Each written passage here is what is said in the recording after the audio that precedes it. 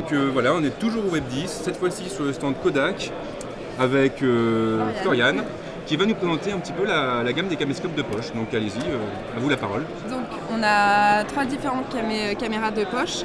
Il y a le dernier produit qui s'appelle le Play Touch, qui a un écran tactile, qui est sorti il y a à peu près deux mois, qui filme en Full HD. Il y a le Play Sport qui filme, euh, qui est waterproof jusqu'à 3 mètres et qui est anti-choc, qui filme en, en Full HD aussi.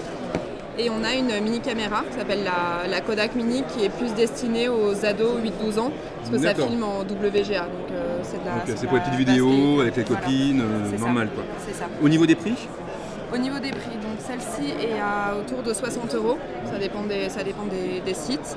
Et celle-ci est à 129 euros D'accord. et celle-ci à 229. Donc au niveau de la qualité, donc on peut filmer, il y a plusieurs modes qui sont proposés. C'est ça, donc soit en 720, soit en 1080. euh, Donc pixels. 720, 1080 comme d'habitude. Euh, L'espace disque. Alors c'est une carte SD, Ok. donc euh, la, la mémoire interne est extrêmement faible, donc euh, vous pouvez pratiquement pas filmer ou prendre de photos. Mais après ça supporte euh, jusqu'à des cartes. SD de 32 C'est ça, Go. D'accord. Et pour les trois en fait Pour les trois. Alors pour celle-ci c'est une mini, c'est une mini carte SD D'accord, ok. intégrée, format téléphone. quoi. On a le zoom, donc euh, la qualité, malheureusement, on ne peut pas trop juger sur un petit écran, il faudrait tester sur euh, un écran avec une autre résolution. Donc ça, je ne sais pas ce que j'ai fait. Aucune photo ou vidéo, ça c'est pour voir les vidéos et photos qui sont enregistrées.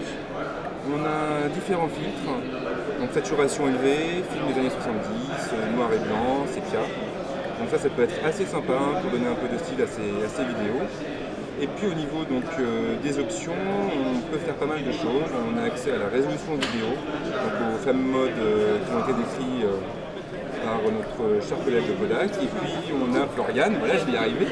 Et puis on peut surtout partager directement, ça j'avais pas vu, sur Facebook, Flickr, Orkut, YouTube. En fait, vous Donc ils se connectent en Wi-Fi?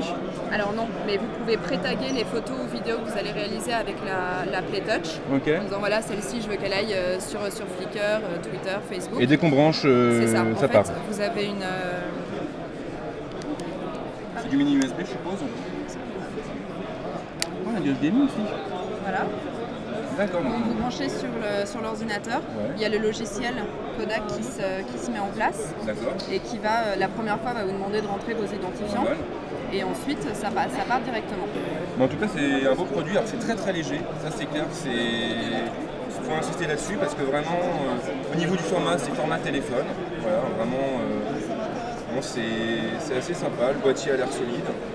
Après, donc, euh, bon, il faudrait que je puisse euh, le tester en, en live hein, pour, euh, pour voir au niveau de la qualité, puis le comparer avec la concurrence. Mais a priori, je trouve que c'est assez sympa. Donc 5 mégapixels, hein, le capteur de celui-là.